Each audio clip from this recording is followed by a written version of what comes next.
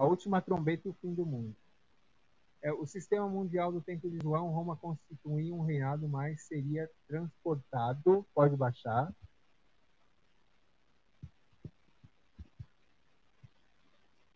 transferido para o povo de Deus, sobre o reinado eterno do último monarca de Israel. É... Primeira... E sempre se fazia ouvir ao som de trombetas no, no, na coração de um rei israelita. Então, pessoal, quando vocês veem a, a, esse termo utilizado como trombeta no Apocalipse e até em Tessalonicenses também, é, é uma, um simbolismo de que o rei ia ter, tomar o seu reinado. No caso, Jesus ia reinar. Essa era a perspectiva, tá? Vocês viram essa coisa de trombeta. Pode baixar.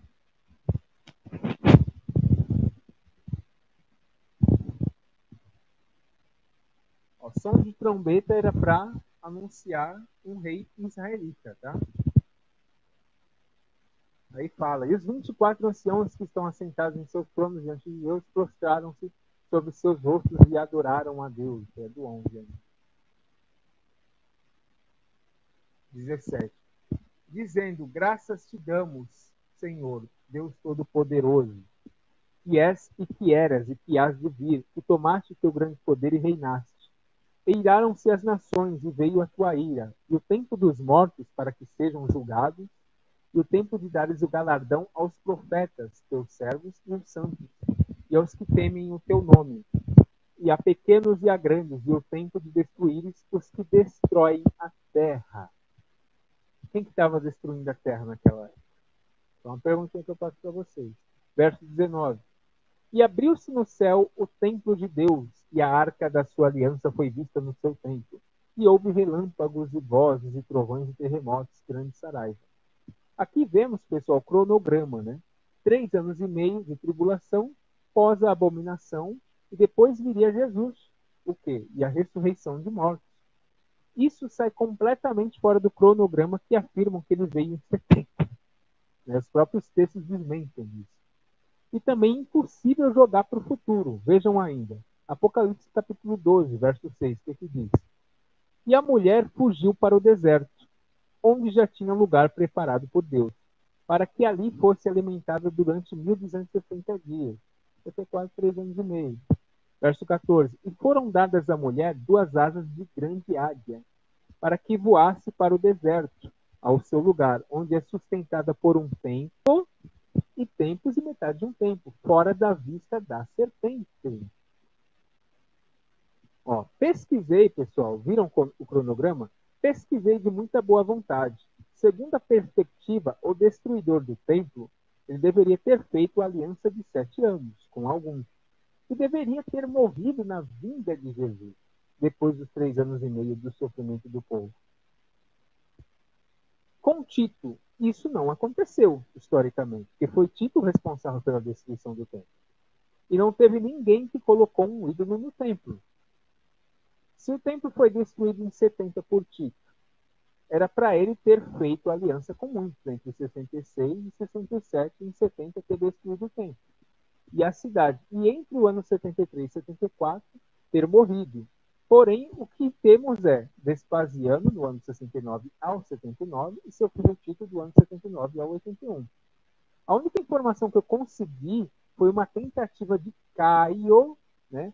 Quem é esse Caio? É o Caio César ou Calígula, que foi imperador romano 16 de março do ano 37, até o seu assassinato em 24 de janeiro de 41. E Caio ele tentou colocar um ídolo no templo, mas não chegou a colocar. Pode ir mais abaixo.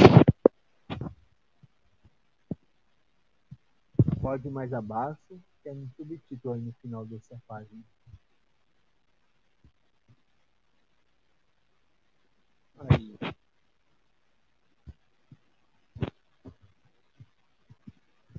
E a gente tem até um subtítulo aqui.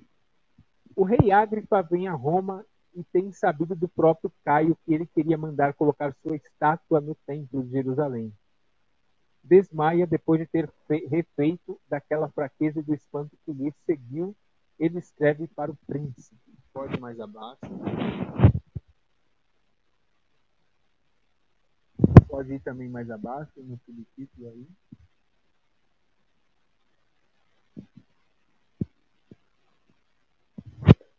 Comovido com a carta de Agripa, ordena a Petrônio que nada modifique no templo de Jerusalém, mas logo se arrepende de ter lhes concedido tal favor e manda fazer outra estátua em Roma, para mandá-la secretamente a Jerusalém, quando fosse para Alexandria, onde queria fazer-se reconhecer como Deus.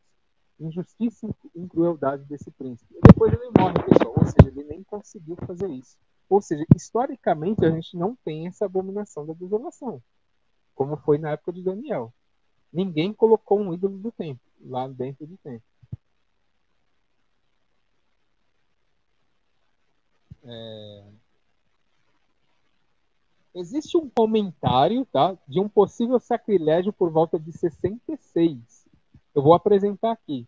Apenas por questão de evidência, tá, pessoal? Embora não corrobora com o texto de Mateus 24. Isso foi feito por uma pessoa da nação. Tá? Da própria nação de Israel. Ou seja, sai bem fora do texto, mas eu vou mostrar. Certo. Então, pessoal, só para ficar claro, né? Não quero tirar a crença de ninguém aqui. Eu quero trazer o quê? Apenas uma leitura contextual, linear e bonita, respeitando o texto e o contexto. E importante o quê? Conhecer a cultura da época. Como eu falei, muitas pessoas caem no negacionismo. Tem gente que fala que eles acreditavam em ressurreição espiritual. Isso não existe. Ou ressurreição da mente. Não existe isso. O que os caras acreditavam é isso que a gente está mostrando para vocês. A gente está pegando documentos dos essênios que são antes, né, da, antes mesmo, né, no século II antes da Era Comum, livro de Enoque, Apocalipse de Êxodo, que é escrito no mesmo tempo de Apocalipse, e todos eles casam. Eles acreditavam sim numa ressurreição da física, um corpo espiritual que é um corpo superior, acreditavam num juízo final e numa terra restaurada onde não ia ter mais morte, literalmente, e não ia ter mais o mal. Era isso que eles acreditavam. E a gente vai provar conforme o estudo for avançando. Desde já eu agradeço, muito obrigado.